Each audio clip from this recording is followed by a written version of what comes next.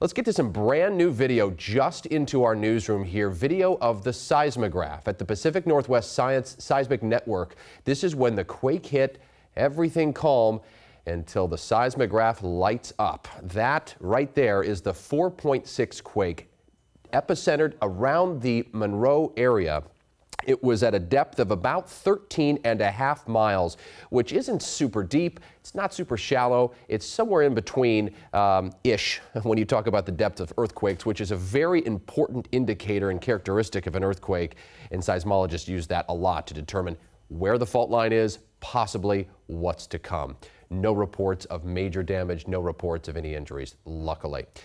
Let's get to a quick timeline of what we experienced. This is a step-by-step moment of what the seismologists are telling us unfolded at about 2 a.m. this morning. So two miles from Monroe, the magnitude 4.6 quake hit at 2.51 in the morning. After that, the aftershocks, 2.53, a 3.5 quake hit, followed by a 1.7 magnitude at 2.56 in the morning. Then a 9, uh, sorry, uh, sorry, a um, a 1.9. Call it a 1.9, just a tick before 3 a.m. at 2:59. Then a 1.6 quake at 3:28. Another small one at 3:46, 3:50, 4:17, 4:24. You get the point. What you're seeing here is an earthquake with a series of aftershocks.